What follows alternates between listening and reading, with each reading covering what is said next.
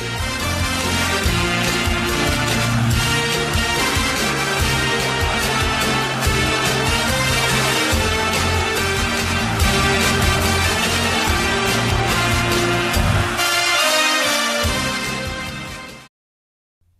A Chapecoense procurou o São Paulo para tentar a contratação por empréstimo do goleiro reserva Lucas Perry, de 23 anos. O salário pedido pelo jogador, porém, é um problema nesse momento.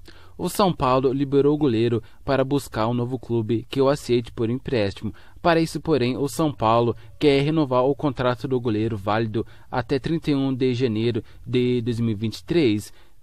Revelado em 2018 pelo São Paulo, Lucas Perry era uma das grandes promessas da base para ser o sucessor de Senna. Essa expectativa, porém, nunca aconteceu. Com pouco espaço no time de cima, ele foi emprestado ao Crystal Palace da Inglaterra, onde também não jogou e voltou em 2019. Desde então, Lucas Perry está na reserva de Volpe. O ano em que ele mais atuou foi justamente em 2021, quando entrou em campo em seis oportunidades. As aparições pouco confiáveis o impediram de brigar por uma vaga com o titular Thiago Volpe.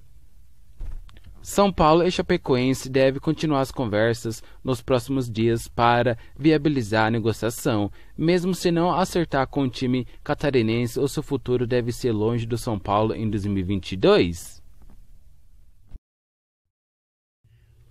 Murici Ramalho teve um áudio vazado nas redes sociais que garantiu que ele e o técnico Rogério Ceni deixarão o São Paulo para a próxima temporada, já que não há perspectiva de melhora no time. Contudo, o coordenador de futebol confirmou o áudio em live com os jornalistas Arnaldo e Tirone, mas mudou o tom.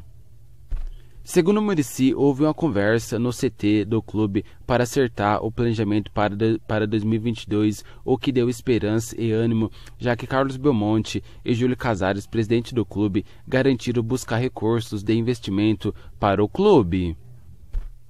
Estamos trabalhando muito aqui. Hoje tivemos uma conversa legal com o Rogério, com o Belmonte, que é um cara incansável, o Rui Costa e o presidente, que está atrás de recursos para a gente tentar mudar essa situação. O que não pode é continuar assim, mas a gente tem uma esperança pela conversa que tivemos hoje. Somente com o Ceni em termos de estrutura, jogadores e pré-temporada, então a gente vê uma luz no fim do túnel. E é claro, vamos continuar trabalhando até a gente achar o caminho. Disse Murici. Ainda de acordo com Murici, um dos pontos mais importantes da conversa foi o fato de Ceni ser o técnico de São Paulo topar continuar no comando do clube para superar os atuais problemas a fim de melhorar o clube para o ano que vem. Claro que vamos continuar em 2022. Estamos desde cedo no CT já pensando para o ano que vem. Finalizou.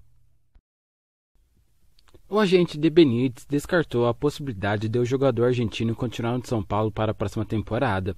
Em contato com o Globo Esporte, Adria afirmou que o clube não tem dinheiro para bancar um novo acordo. Ele não vai continuar no São Paulo, não há condições financeiras para estender o empréstimo. De seu empresário, a permanência de Benítez já era considerada improvável no São Paulo, que entende que o investimento necessário para manter o jogador não se justifica, já que ele atuou menos do que se esperava nessa temporada.